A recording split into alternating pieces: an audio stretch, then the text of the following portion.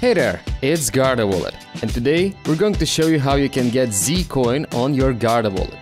So, if you already have some funds on Guarda Wallet, you can exchange them for Zcoin. First, you need to add the Zcoin wallet in Guarda Wallet because it's not on the default list of activatable wallets. For that, you go to the More Wallets section and press Add on the Zcoin wallet. After that is done, your Zcoin wallet is created, then you go to the exchange, choose the currency that you wish to exchange and choose the Zcoin wallet. There, you choose the amount that you wish to exchange. For me, I'm gonna exchange everything that is available for me. By the way, did you know that the Zcoin is the first full implementation of the Sigma protocol, which allows users to have complete privacy via zero-knowledge cryptographic proofs? And who knows, maybe this coin is not affected by halving. So, after exchange process has been done, you successfully get Zcoin in your Guarda wallet.